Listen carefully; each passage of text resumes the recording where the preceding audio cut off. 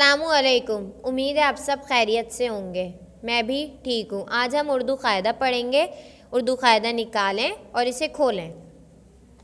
आज हम क्या पढ़ेंगे? रे। क्या पढ़ेंगे आज हम? रे। दोबारा पढ़ते हैं। रे। रे, आड़ू। रे से कोई भी अल्फाज शुरू नहीं होता। रे से क्या होता है? कोई भी लफ्ज़ शुरू नहीं होता।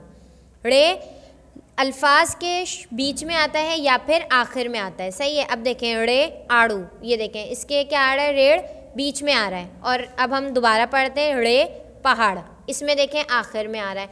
तो रे से कोई भी लफ्ज़ शुरू नहीं होता। तो हम क्या पढ़ेंगे? रे, आड़ू। क्या पढ़ेंगे हम? रे, आड़ू। दोबारा पढ़ते हैं। रे, आड़ू। रे, पहाड़। रे, पहाड़। सही है बेटा? आप लोग मेरे साथ पढ़ें। रे पहाड़। जैसे मैं पढ़ा रही हूँ, आप लोगों को बिल्कुल वैसे ही पढ़ना है। रे रेवड़। देखें, इसमें भी रे कहाँ आ रहा है? आखिर में आ रहा है। रे रेवड़। रे रेवड़। दोबारा पढ़ते हैं हम। रे बाढ़। क्या है ये? बाढ़। रे बाढ़। एक बार फिर पढ़ते हैं। रे आड़ू। रे पहाड़। रे रेवड़। रे बाढ़। ठीक है बेटा, जैसे मैंने आप लोग को पढ़ाया है, वैसे ही पढ़ेंगे।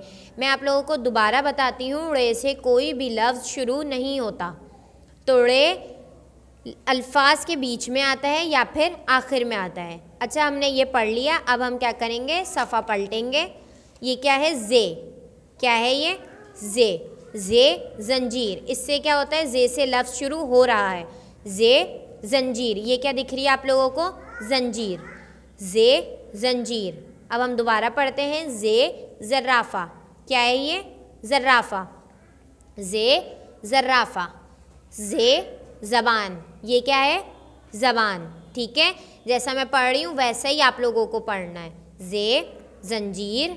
जे जर्राफ़ा। जे ज़बान। ठीक है? एक दफ़ा हम फिर पढ़ते हैं। जे जंजीर। जे ज़राफ़ा जे, ज़बान। जैसा मैंने आप लोगों को पढ़ाया, आप लोगों को बिल्कुल वैसे ही पढ़ना है, सही है?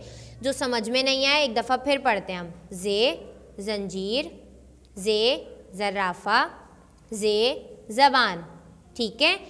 देखिए बेटा, हमने क़ायदा पढ़ लिया, अब हम निकालेंगे उर्दू की किताब। उर्दू की किताब निकालें, अब हम इसके अंदर काम करेंगे। उर्दू की किताब निकालें और इसे खोलें।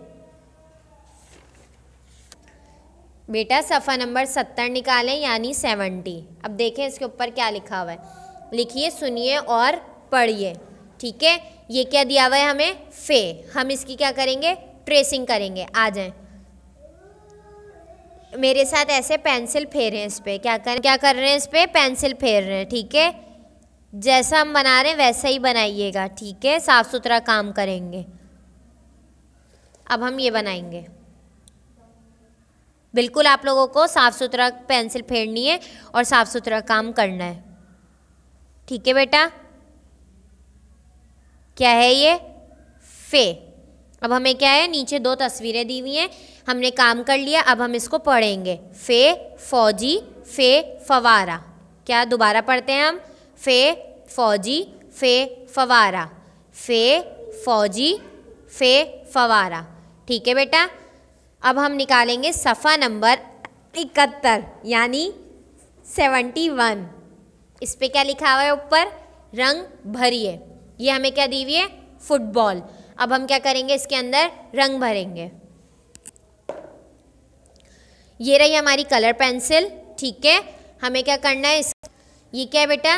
पेंसिल कलर, ठीक है? अब हम क्या करेंगे इसको? कैसे पकड़ते हैं इसको? टू फिंगर्स, वन थम कैसे पकड़ते हैं? टू फिंगर्स वन थम ये देखें।